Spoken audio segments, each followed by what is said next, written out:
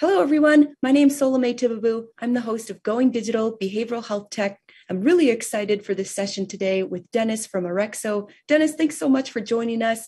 How about before we get started, just a quick introduction, please? Yeah, absolutely, Solome. It's great to be here. So, my name is Dennis Urbaniak, and I work as the Executive Vice President of Digital Therapeutics at Orexo. Fabulous. And so, for those who are unfamiliar, what does Orexo do?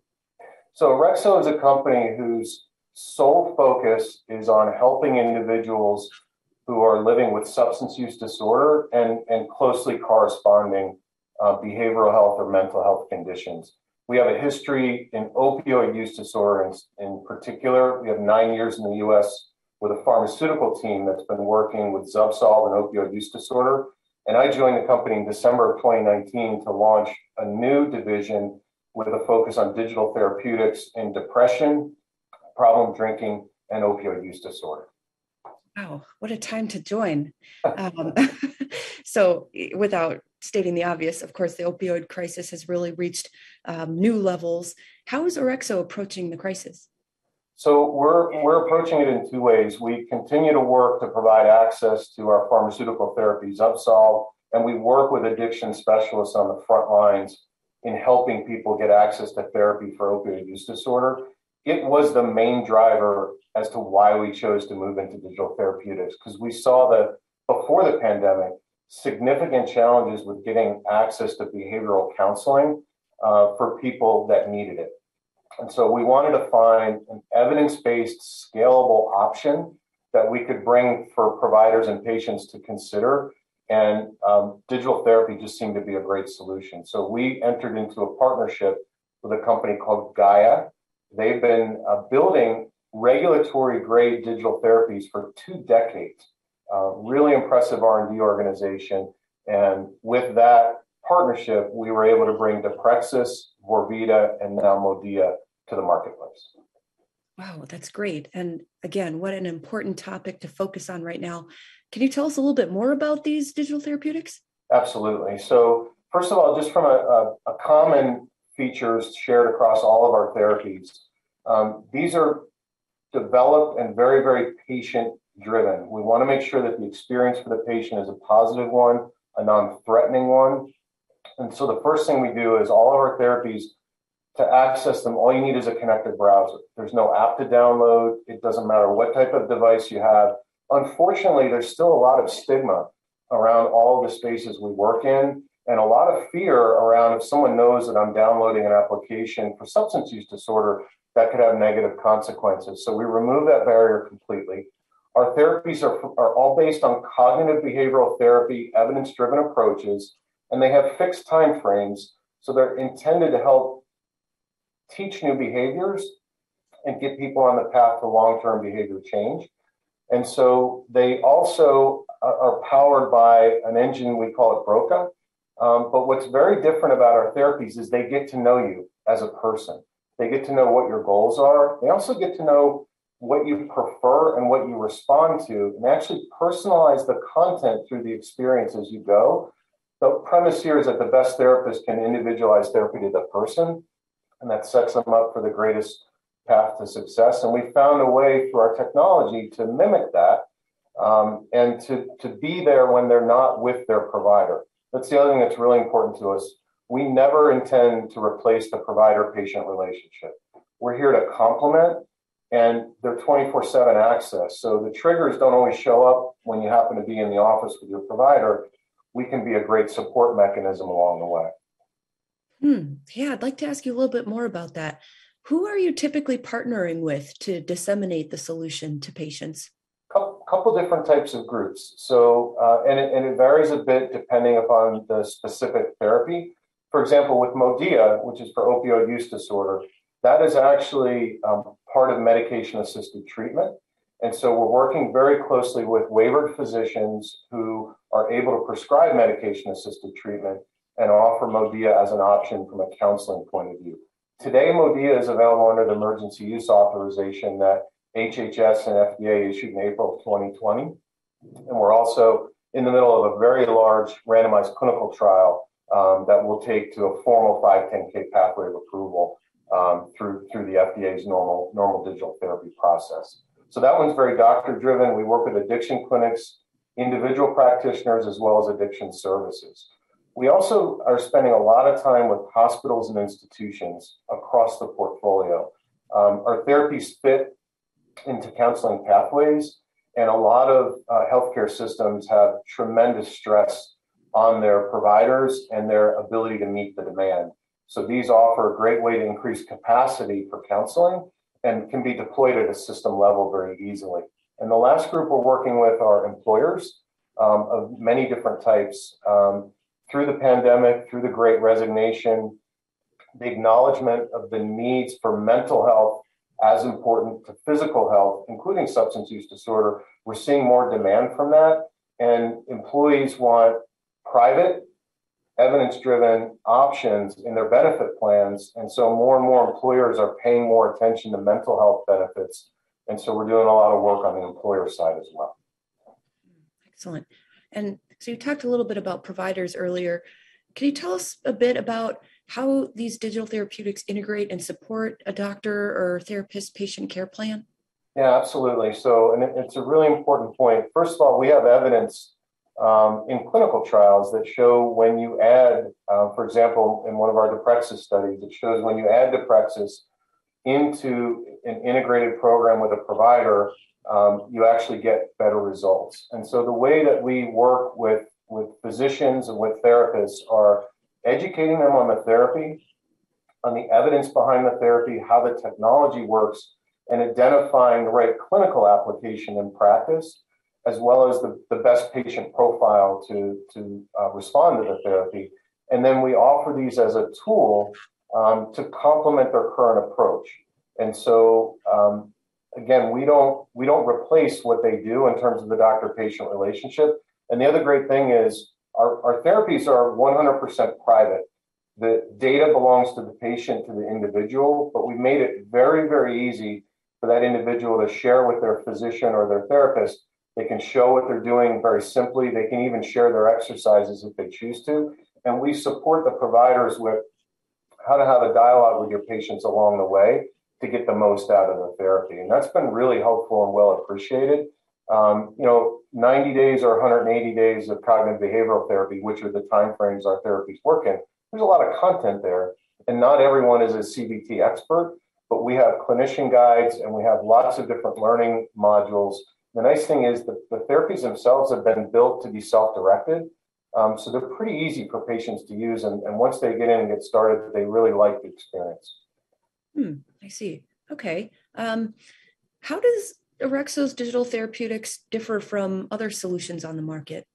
A couple things. So we are truly digital therapeutics. And what I mean by that is we're a member of the Digital Therapeutics Alliance, and we apply and meet the requirements around um, randomized clinical trial evidence, quality, safety, privacy, and security. So there's there's kind of 10 tenants that the DTA puts out there that would separate true digital therapeutics from the broader digital health um, offerings that are out there. And, and those are all very good. Our therapies are a combination of non prescription digital therapies or prescription digital therapies and are actually intended to deliver a clinical benefit. So, and we can meet those clinical and safety and quality requirements. The other reason where we're different is this um, personalization component. Um, you and I, Solome, may start uh, Vorvida, which is our problem drinking therapy, tomorrow. And over the next 180 days, we may have a very different experience um, as we go through and apply that therapy because it's personalizing it to each of our individual goals. And I may like, I may be more visually driven. You may like to dive into the data and spend a lot more time. So that personalization component of the content is quite unique. And we've we found that not only does that help support the consistent, strong clinical feedback we've gotten, but our patient satisfaction engagement scores are pretty high too. And we think it's because it, it you know it feels more like it's yours. It feels more like you're connecting directly to that therapy. Great, thanks so much. And if I'm a patient interested in using any of these solutions, can you walk me through what the experience is like for someone to get started and and even for how long I should be using it? Yeah, this is a thanks, Solome. This is a great point because the again the, the onboarding has to be simple for the provider and for the patient. it has to be easy for them to get started. And so the first thing is to begin our therapies. Um, you, it's really, really easy. You get a, a product registration code, which unlocks the software, and all you do is you tell it um, what you, you'd like the therapy to call you, what name you'd like to go by. You create a username and password. So we can have people registered on therapy literally within five minutes. Um, and so that process to get started is really easy. Um, all, you, all you need is the connected browser. Regardless of where you go later to use it again, it remembers the login, password, and, and username. So you just go to the URL and, and you're in the therapy and working. The second thing is the expectation uh, on average in our clinical trials and kind of align with the way cognitive behavioral therapy works is people are typically spend about 15 to 20 minutes once or twice a week. Um, each of our therapies has a fixed time frame. So Deprexis is a 90 day therapy. Um, Vorvida and Modia are 180 day therapies. And the way they're organized, we call them chats, but you cover kind of different topics from basic introduction with content specific to whatever that indication for use is depression, problem drinking, opioid use disorder. And then it introduces some, some core CBT principles and techniques, then begins to do some practice application, and also leaves you with a recovery plan. For example, in Modia, which is our digital therapy for opioid use disorder, it actually, when you finish at the end of 180 days, not only do you get to save all the exercises and assets that you completed, which you can do with all three of our therapies, it actually builds you your own um, personalized relapse pre- prevention plan. And it, enables you to go in and kind of score your risk for relapse based on different criteria that you learn through the therapy and see where you are with some recommendations to act. So um, light work, uh, it, it's not like you need to spend hours every day. A couple of sessions a week, and homework and exercises that you get to keep, and then you keep a lot of the um, exercises afterwards, after the core therapy is finished, and you can continue to use those uh, for as long as as you like. Wow, that's really great. And of course, again, this is just such a timely solution. Um, you had touched on this earlier, but I really want to hit it home because I know this is a question we get often around digital therapeutics. Um, can you talk a little bit more about the security and privacy of, of Orexo's digital therapeutics? Yes, and, and again, this is uh, an, an, equally important question. Unfortunately, in, in mental health, depression, and certainly in substance abuse, there's still tremendous stigma and a lot of fear about um, people knowing that you're working with one of these conditions. And so um, our manufacturer of the therapies, Gaia AG, is based in Hamburg, Germany. And that's important because by design, every um, therapy coming from Gaia meets GDPR standards, which are the highest level of legal privacy and security standards in the world. What that means here in the US is all the HIPAA applications are met. Um, there's essentially not a privacy or security standard that we don't meet.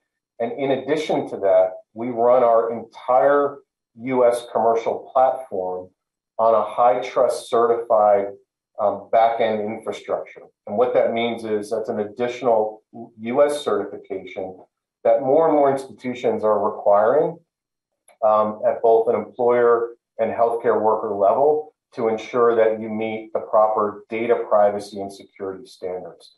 The other thing about our therapies that are quite different are we don't in automatically include physician dashboards. We don't share the patient's data with physicians. The whole premise here is that in therapy, um, if you can create an environment where the patient can be honest and not fearful, they're going to make a greater breakthrough. We do make it very easy for the patient to share the data if they prefer, and for providers, we can provide anonymized aggregate level data so they can get an understanding of how the therapies are being implemented.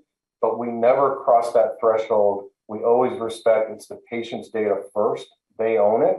And um, we want that privacy and that, that, that protected environment to be part of how we implement the therapy. So we have the, the technical standards with GDPR and HITRUST, and more kind of the personal standards, if you will, around how we look at data sharing within the therapies. That's wonderful. Yeah, for those who aren't familiar, that's you know, HITRUST. That's, I mean, we're talking about the highest levels of privacy and security. So that's really wonderful to hear. Um, you know, of course, I want our audience to learn even more about each of these digital therapeutics. Um, I wish we had more time that I could ask more questions, but um, for those interested in following up, where can we find out more? So, so two sources I'll point to. One is I mentioned the Digital Therapeutics Alliance. This is a wonderful industry resource. It's objective, great educational information, and transparent standards um, that we're happy to be part of and meet. And as people are trying to learn, I think it's a really important starting point just to understand what a digital therapeutic is, what it takes to, to earn that designation, and some of these important things as you've asked about around efficacy, safety, privacy. Um, from there, um, I would encourage people to go to us.deprexis.com, us.vorvida.com, or us.modia.pro to learn about each of our individual therapies. Or please feel free to reach out to me um, directly. Uh, would love to spend a lot of time educating people and talking about these therapies. Our whole team at Orexo is incredibly passionate about working in this space. And any way we can help get the word out, not only about our own therapies, but about valuable options in mental health and substance abuse. That, that's our number one priority. Amazing. Thanks so much for the time and sharing about all of these new solutions, Dennis. Really appreciate it. Thank you.